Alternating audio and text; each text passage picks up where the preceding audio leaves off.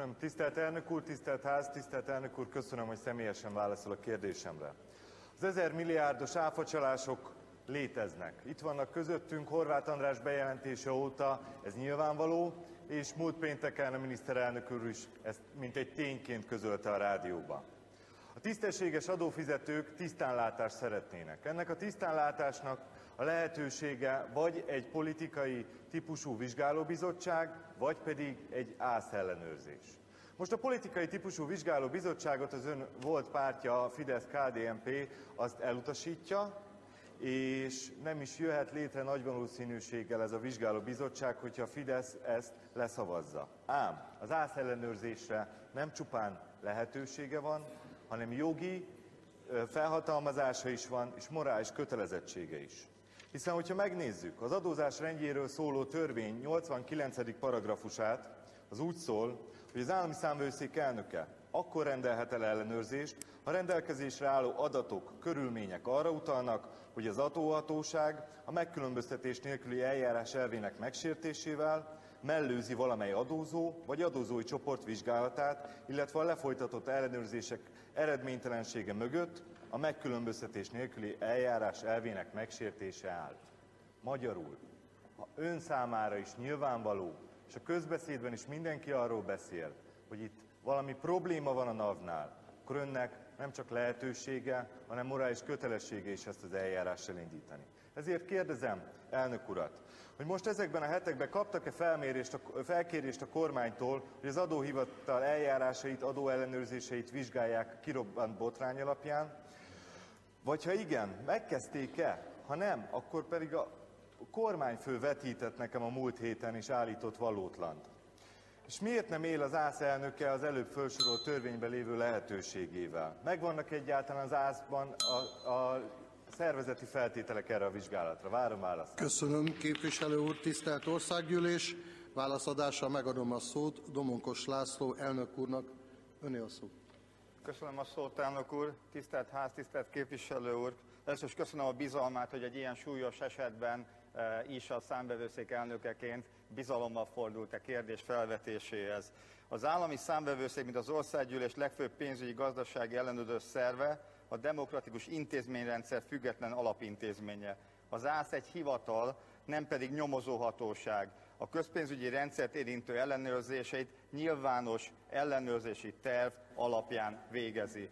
És mint ahogy korábban is fél évente előre meghirdetett módon a jelentésnek, a ellenőrzési tervnek a megjelentetését megtettük év végén, decemberben, illetve nyár elején, júniusban, így azt tudom bejelenteni, hogy igen, karácsony előtt nyilvánosságra hozom azt a korábbi gyakorlatnak is megfelelő 14 évi első félévi ellenőrzési tervét, ami tartalmazni fogja, hogy az ÁSZ milyen módon ellenőrzi jövőre a Nemzeti Adó és Vámhivatal tevékenységét, és az ellenőrzési tervet elsőként önöknek, az országgyűlésnek nyújtjuk be, majd azt követően a széles közvéleményt is tájékoztatni fogom.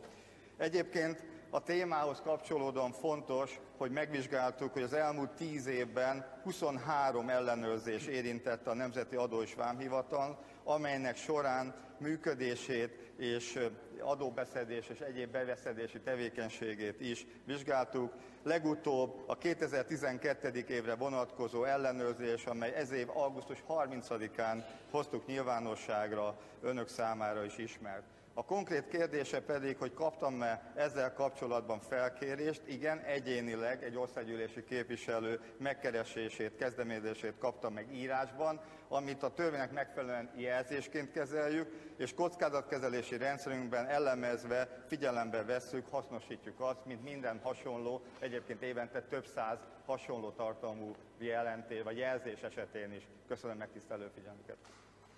Megköszönöm elnök úr válaszát. Viszont válaszra megadom a szót Vágó Gábor képviselő. Köszönöm szépen, tisztelt elnök úr, ne vegye tiszteletlenségnek, hiszen nem a személyének szól, de úgy érzem, hogy az elmúlt hetekben itt a kormánypárti politikusok és a különböző állami intézmények, mint egy forró kurumplit dobálják egymás között ezt a napbotrányt. Senki nem meri vállalni a kivizsgálás felelősségét.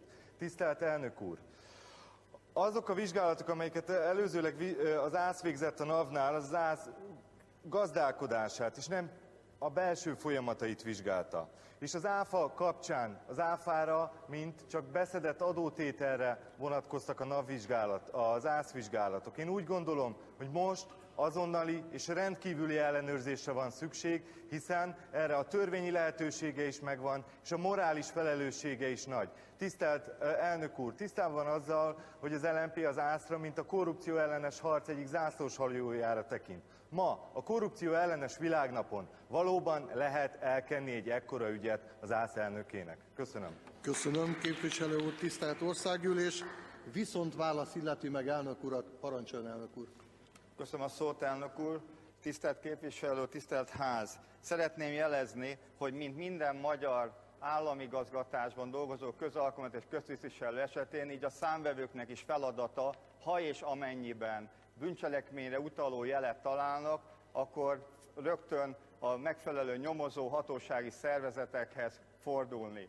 Ezt megvizsgáltam az elmúlt három évben a számvevőszék ilyen ellenőrzése kapcsán. Fölmerült-e, egyébként ez szélesebb volt a terület, amit az előbb a képviselő úr mondott, hiszen csak az elmúlt három évben is messze több, mint évente kettő átlagos ellenőrzés esett, de itt kell hangsúlyoznom, hogy az, az ellenőrzés során a számvevőink, az ellenőreink nem találtak bűncselekményre utaló jelet a Nemzeti Adó és Vámhivatalnál, ennek megfelelően nem volt indokolt, hogy ilyen eljárást folytassunk minden egyéb gyanú esetében pedig ellenőrzés alapján teszünk feljelentést, az viszont még ebben a kérdésben majd a következő évi ellenőrzésnél tudjuk figyelembe venni, ekkor tudunk ebben a kérdésben eljárni. Az ellenőrzéseinkhez pedig bőséges időtartamra van szükség, hiszen megfelelő szakszerű véleményre nyilvánvalóan számít a számvevő szék tekintetében a képviselő.